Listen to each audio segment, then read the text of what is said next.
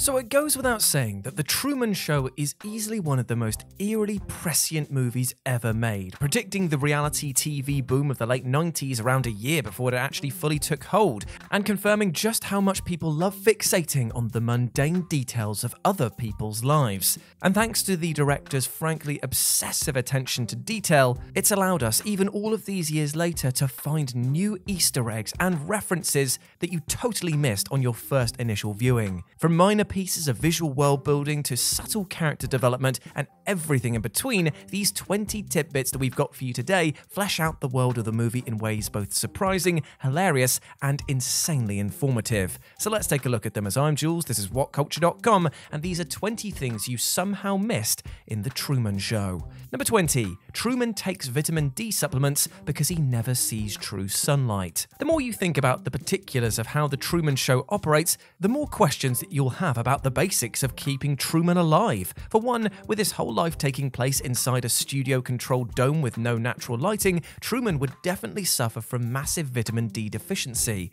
In the long term, this would cause weak bones, depression, weight gain, cognitive issues, and significantly boost his susceptibility to cancer and high blood pressure. But the film actually has a sneaky answer for this, as during breakfast, Truman has a bottle of vitamin D supplements next to his cup of morning coffee, confirming how the producers keep Truman in tip top shape despite the obvious risks associated with receiving no natural. Number 18. All the radio music is classical because it's royalty free. You might have noticed that all of the music on Seahaven's radio stations is classical, which, beyond helping keep Truman calm and pacified as he goes about his day, has an altogether more practical purpose for the show's producers.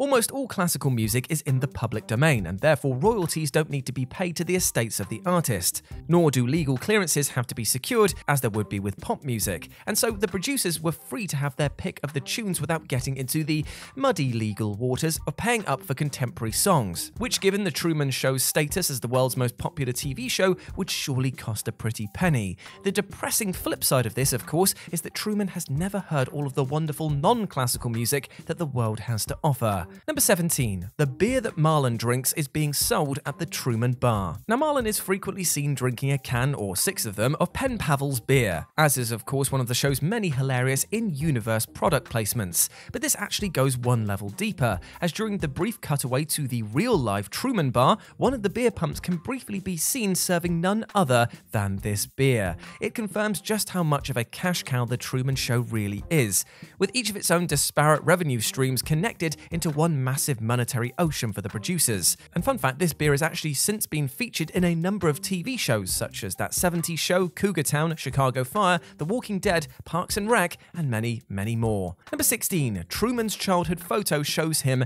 as an imprisoned clown, which is basically what he is. When Truman and Meryl visit Truman's mother, Angela, they look through an old photo album containing pictures of Truman as a child. Angela eventually stops on a page with a picture of a young Truman wearing a clown costume while staring at the camera from behind a childproof gate, with the handwritten caption, My Little Clown. While on first glance this might seem like nothing more than an adorable picture taken by a loving parent, it actually symbolizes exactly what Truman is a prisoner, albeit an unknowing one, and a clown whose entire life is a cruel, unwitting piece of performance to entertain the masses. Number 14. There are hidden cameras everywhere. Every aspect of Truman's waking life is monitored by hidden cameras, and the director ensured to have the film's set filled with small black cameras for audiences to seek out. Basically, every scene in the film contains hidden cameras, whether mounted on his neighbor's garbage can, to the struts of his office, or on monuments scattered throughout Seahaven. Hell, even Truman's distinctive black diamond ring actually has a hidden camera in, as confirmed by a deleted scene, which was ingeniously given to him by his dead father before he drowned, ensuring that Truman would never take it off.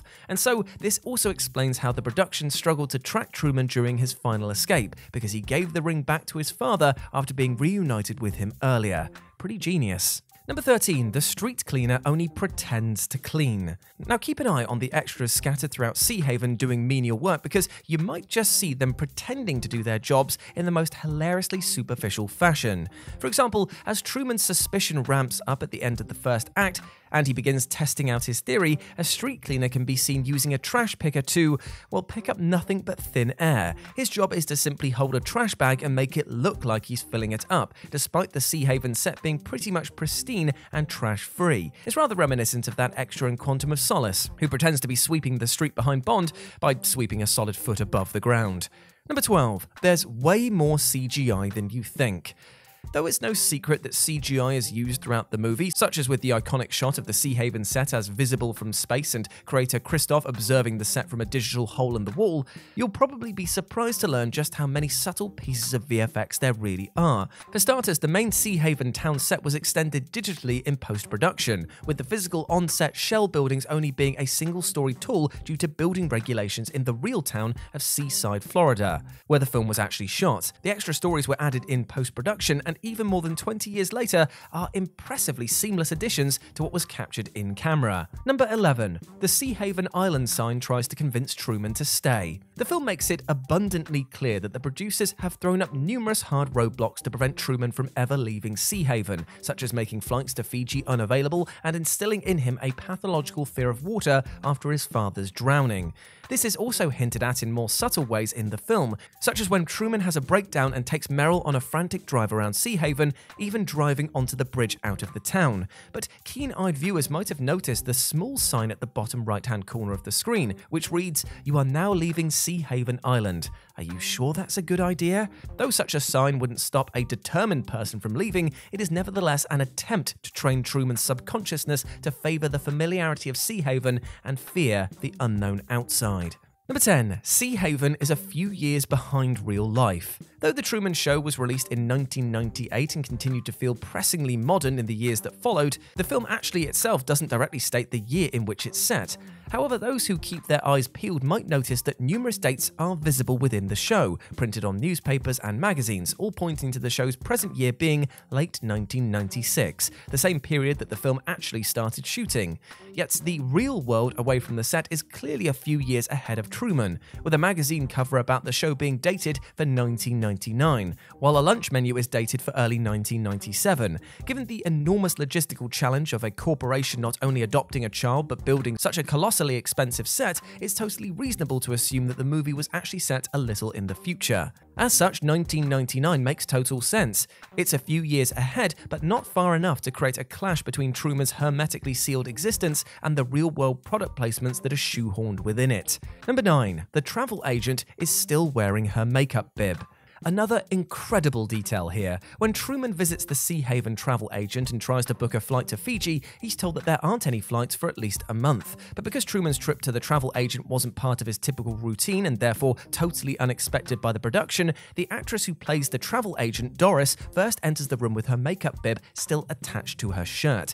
Evidently, she had to get a fast and loose makeup job once it was clear what Truman was up to, and once she sits down, she quickly remembers to take the bib off. Number 8. Sylvia has been trying to recruit cast members for years. Though Truman is married to Meryl, his true love is Sylvia, an extra who ultimately attempts to reveal to Truman the truth of his existence and continues to campaign for him to be set free. A fleeting shot of Sylvia's apartment even reveals a bulletin board where it's clear that Sylvia has been in contact with various cast members, trying to convince them to help her free Truman.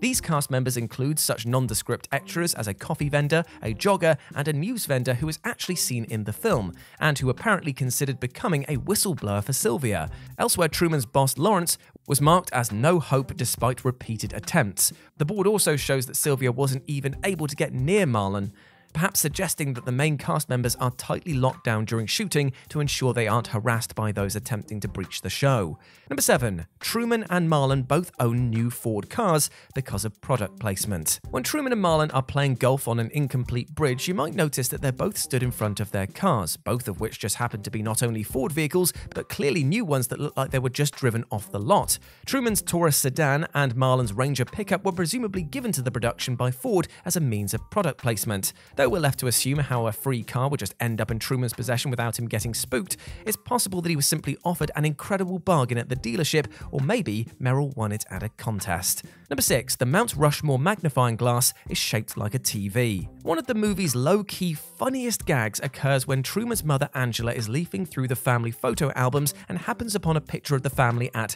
Mount Rushmore. Truman notes how small the monument looks in the picture, which is because it's very clearly a low budget mock up without the epic surrounding rock formations that you'd expect.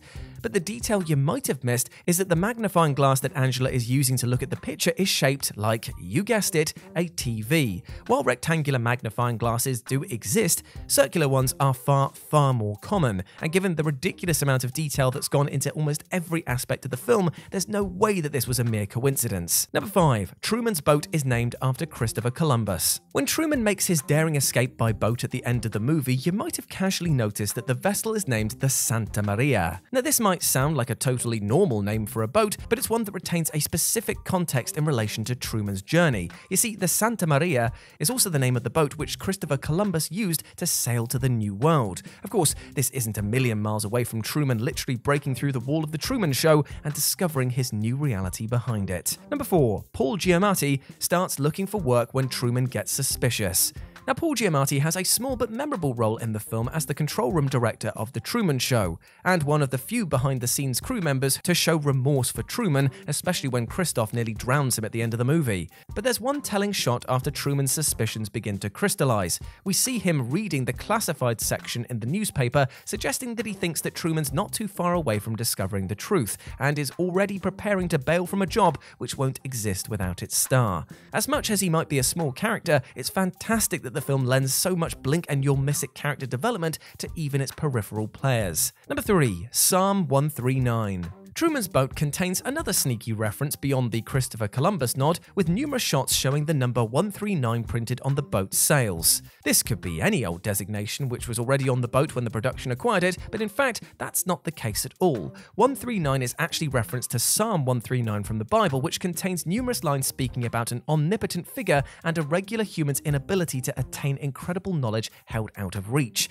Now, gee, doesn't that sound familiar? It's certainly more subtle than the Truman Show's creator being named Chris off at least. Number 2. The forest Truman tries to escape through is entirely man made. When Truman has his big mid film freakout, he attempts to flee Sea Haven by running through the forest, which draws immediate attention to its own artifice for those paying attention. We only see a few clear shots of the forest layout, but the trees are planted in strictly defined rows, indicating that they are in fact entirely man made rather than naturally occurring as they generally are in the US.